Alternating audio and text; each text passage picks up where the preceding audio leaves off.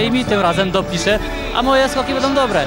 A ta druga liczba to 34. Tyle z kolei Polska traci do Niemców w Pucharze Narodów. Dziś udało Wam się 50 punktów nadrobić. To fajnie, ja myślę, że jutro nadrobimy jeszcze więcej. Adamie, to na koniec tyle razy prosiłeś kibiców, żeby dmuchali przed telewizorami. No i dziś przychodzi mi po raz ostatni Ciebie o to poprosić. Dmuchajcie w telewizory jutro. Mam nadzieję, że będziecie tak jak zawsze. A tutaj jest naprawdę tyle Polaków, że oni tutaj na żywo dmuchają. Jak jeszcze wy pomożecie dmuchać telewizory, to na pewno, na pewno jutro będziemy latać i to daleko. Tyle Adam Małysz, dziękuję Ci pięknie Adamie po ostatnim w karierze konkursie drużynowym.